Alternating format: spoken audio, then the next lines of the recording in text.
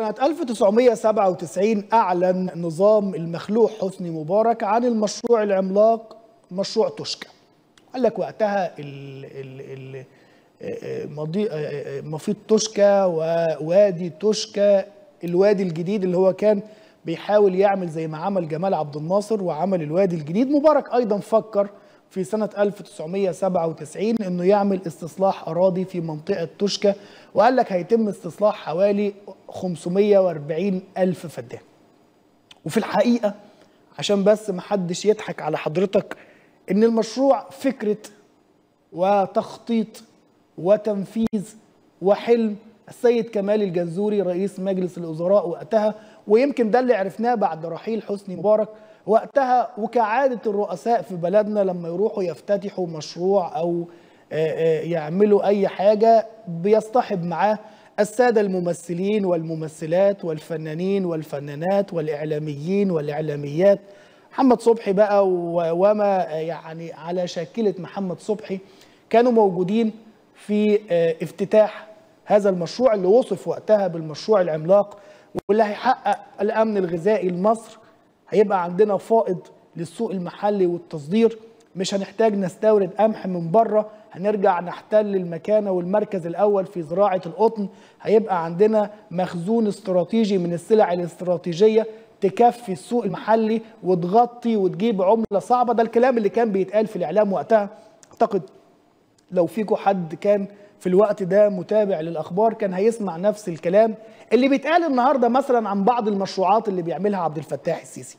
نفس الكلام copy paste في وقتها ونفس الوجوه اللي كانت موجودة في افتتاح مشروع توشكا. شفناش بقى حد من الخبراء ولا السادة المستشارين ولا الخبراء في الجيولوجيا أو الخبراء في الزراعة أو الخبراء في التربة والمية لكن اللي كان حاضر وقتها الفنانين والممثلين اللي طبلوا وباركوا هذا الإنجاز العظيم. سنة اتنين تلاتة أربعة ورحل حسني مبارك في يناير 2011 ونسبة الإنجاز في مشروع توشكا لم تتجاوز 4.5 من عشرة في المية من إجمالي المساحة اللي تم الإعلان عنها في 97 ده لأن حسني مبارك على مدار الفترة اللي قعدها من 97 ل 2011 ما سمعش لحد. الناس فضلت تتكلم عن عدم جدوى هذا المشروع وإن المشروع ده خسايره أكتر من مكاسبه وإن منطقة توشكا هي المنطقة الأكثر جفافا في جمهورية مصر العربية. وإن نقل مية النيل إلى توشكا هيأثر على الدلتا. من باب أولى إنك بدل ما تعمر في توشكا إما إنك تنمي الدلتا أو تعمر في الأماكن القريبة من الدلتا. قال لك كمان إن طبيعة التربة اللي موجودة في توشكا ووجود كتل من الجر... من الجرانيت قد تعرقل عملية الزراعة والتنمية في هذه المنطقة لكن ما حدش سمع أو وقتها ما كانش حد يقدر يتكلم قدام نظام مبارك اللي كان بيعتبر نفسه الحاكم بأمره. من هذه الحاجات اللي اتقالت تحديدا في 2006 ما قاله الدكتور رشدي سعيد شيخ الجيولوجيين وقتها كان بره مصر بطبيعة الحال كان بيقيم في الولايات المتحدة الأمريكية وقال إن مشروع توشكا فاشل وضيع على الدولة 10 مليار جنيه وإنه عرضه منذ البداية وسلم ورقة متكاملة بموقفه بموقفه وقتها للسادة في الحكومة سيد أحمد ماهر لكن محدش سمع الكلام واتقال له كده إن ده حلم كمال الجنزوري وحسني مبارك عايز يعمله عشان يبقى راسه براس جمال عبد الناصر ونقوله في يوم من الأيام صاحب الإنجاز صاحب الضربة الجوية الأولى وصاحب الوادي الجديد الثاني اللي هو حسني مبارك أو وادي توشكا أو منطقة توشكا. قوم رحل مبارك وبدأ الكلام يكتر عن فشل هذا المشروع. أنا كنت شاهد في هذه الفترة كان ليا أحد المدرسين كان بيدرس لي في إعدادي. كان مدرس أول دراسات اجتماعية. كان راجل يعني ربنا موسع عليه وشغال في التجارة. فلما فتح حسني مبارك موضوع تسليم الأراضي للخريجين وقتها فراح أخذ خمس فدادين في منطقة توشكا. وبعدها الحكومة سومته إما إنه يسيب الأرض أو يقدم استقالته من التدريس بعد سنة قدم استقالته من التدريس سنة اتنين تلاتة الأرض باظت وبارت وباع الأرض بتراب الفلوس وبعد كده قعد لا طال الوظيفة الحكومية ولا حتى طال الأرض اللي اتوعد بيها في منطقة توشكا. كلام كتير وقتها ويمكن الوطن كشفت بالمستندات الكلام ده كان في 2014 الأسباب الحقيقية لفشل توشكا. قال لك إن أكثر هذه الأسباب هو طبيعة الأرض وعدم اهتمام السادة المسؤولين وعدم وجود خطة لتنمية هذه المنطقة فضلا عن طبيعة التربة ويمكن الكلام ده كله اتقال على إيدين الخبراء والعلماء في هذا الوقت. شركة توشكا سنة 97 أو 98 تم إسنادها لأربع شركات منهم اثنين شركات مصرية فيهم واحدة حكومية وواحدة خاصة واثنين من الشركات ينتموا للمملكة العربية السعودية منهم الشركة المملوكة للوليد بن طلال أو الأمير الوليد بن طلال واللي كانت ليها النصيب الأعظم في استثمار منطقة توشكا ما يزيد عن 100 ألف فدان اشتراهم الوليد بن طلال من أجل عملية الاستثمار. لكن في 2017 وبعد مرور أكتر من يعني تقول كده حوالي 20 سنة من عدم التنمية في هذه المنطقة قرر الوليد بن طلال إنه يبيع الأرض اللي اشتراها من البلد للجيش المصري بخسائر وقتها قدرتها صحيفة سعودية ونقلتها سي ان ان بالعربي حوالي 89 مليون دولار. 89 مليون دولار خسرهم الوليد بن طلال طلال وخد الأرض بتاعة توشكا حطها في حجر الجيش. ده في 2017 قوم بقى بعد هذه الأعوام من الفشل في 2021 يظهر لنا عبد الفتاح السيسي على إنه المنقذ اللي هيعيد اكتشاف هذا المشروع ويطلق ما يسمى بتشكى الخير. تشكى الخير السيسي يفتتح أكبر مشروع استصلاح زراعي في الشرق الأوسط. إيه بقى حوار تشكى الخير وموضوع تشكى الخير وتصوير الإعلام المصري لعبد الفتاح السيسي على إنه المنقذ وإن هو اللي حول هذا المشروع من فشل على مدار أكتر من 22 سنة لمشروع هينقل البلد نقلة تانية. وقال لك السيسي أنهى 20 عام من الفشل في مشروع توشكا. مش بس كده. ده المشروع ده هيبقى مستقبل مصر الزراعي خلال الفترة القادمة. ودي بعض المشاهد اللي, اللي وقت زيارة عبد الفتاح السيسي في 2021 بدأوا ينقلوا لنا هذه المساحات الخضراء من وسط الصحراء ومية موجودة في توشكا حتى لما تبص على ال ال ال ال أيوه ال قبل كده ال ال النهر أو المكان اللي ماشي فيه المية وقتها الناس كانت بتتريق وتقول ده لسه محفور النهارده الصبح. أيوه ده لسه قبلها كان محفور قبلها بكام ساعة. حطوا فيه مية وصوروه وشوية مساحات خضراء. البعض وقتها قال دي ممكن تكون نجيلة صناعية لكن مشروع توشكا يرسم مستقبل مصر الزراعي التوجيهات بزيادة الرقعة الزراعية نقلة مهمة لتحقيق الاكتفاء الذاتي. والبرلمان قال ده بيستهدف تحقيق الأمن الغذائي وزيادة الصادرات. ده الكلام اللطيف اللي اتقال بعد شعور البلد بأزمة في نقص المنتجات الغذائية. نحن عندنا كارثة محتاجين نتوسع. عندنا مصيبة جاية لنا في السكة اسمها سد النهضة. عندنا قلة الواردات بسبب الحرب على أوكرانيا. عندنا عجز في السوق وعجز في المواد الغذائية بسبب زيادة عدد السكان. عندنا مشكلة في التضخم مش قادرين نجيب بضايع من بره فلازم نبحث عن منتج محلي أو بديل محلي. فقال لك تعالى نجرب حظنا في توشكا. رغم كل اللي اتقال عن فشل هذا المشروع.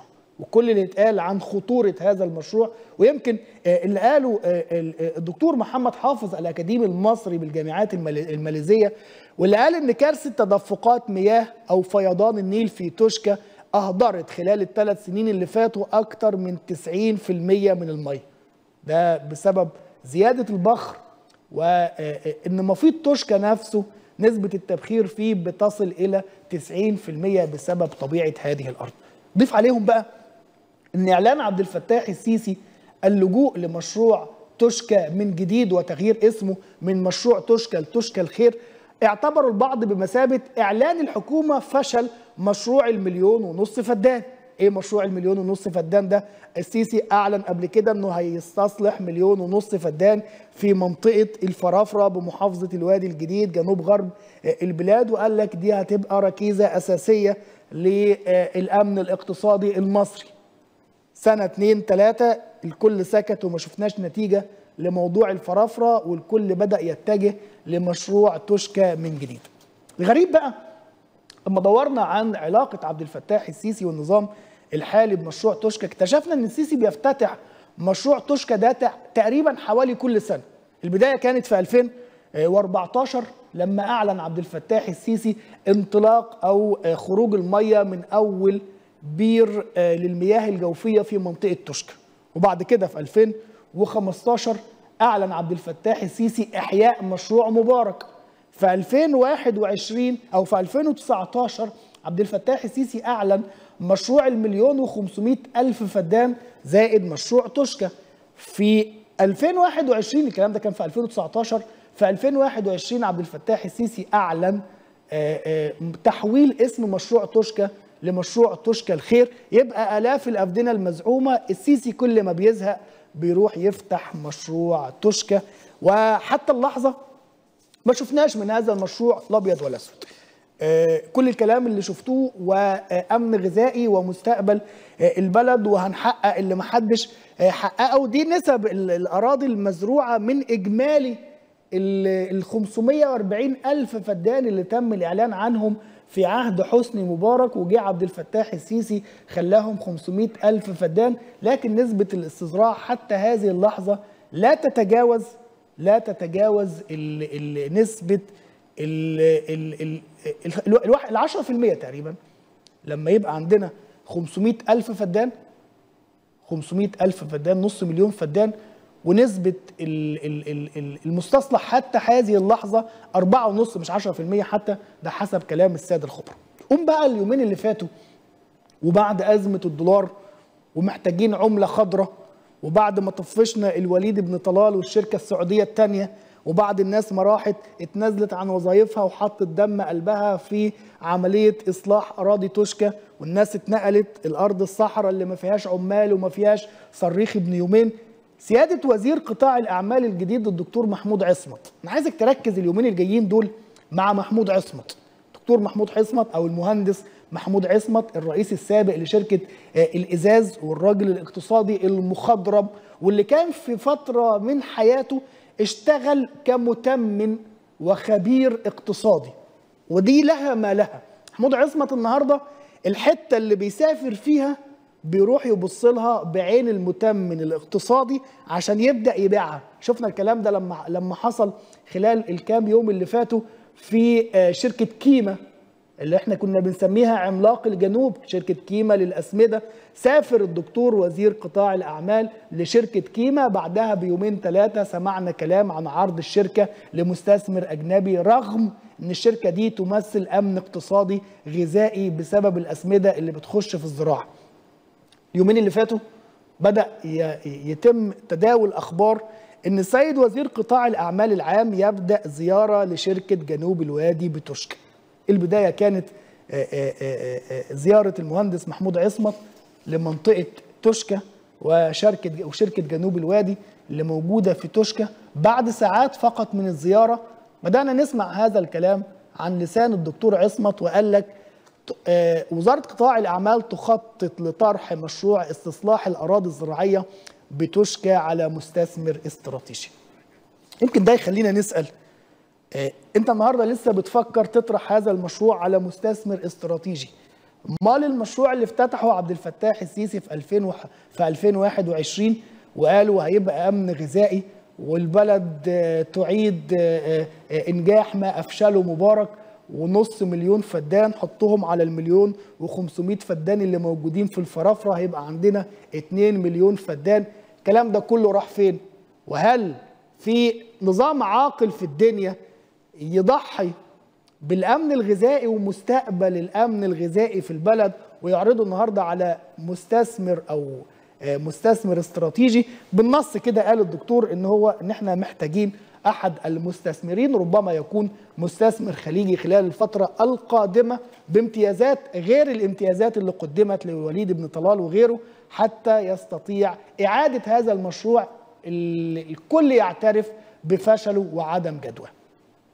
هل تبيع الحكومة أو يبيع نظام عبد الفتاح السيسي تشكى بعد 20 سنة من الفشل في عهد مبارك وبعد خسائر تقدر ب 10 مليار جنيه مصري ده اللي هنشوفه خلال الأيام القادمة.